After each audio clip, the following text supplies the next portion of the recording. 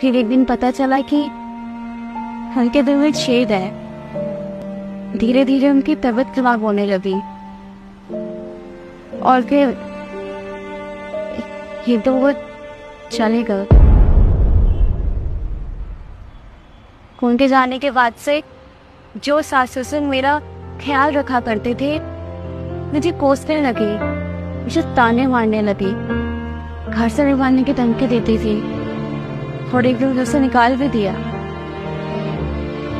वो पानी पहुँचाने का काम करते थे तो उनका काम अब मैं करने लगी हूँ। अब बस उनसे जुड़ा ये काम है और उनका ये अंश। भाई सलाम है आपके जज्बे को। लोग तो मैंने बहुत देखे लेकिन आपके जैसे सेल्फ इंडिपेंडेंट और मज़बूत इंसान मैंने पहली बार देखा। अब अकेले ही जीना है। और फिर इस बच्चे को भी तो पालना है ना।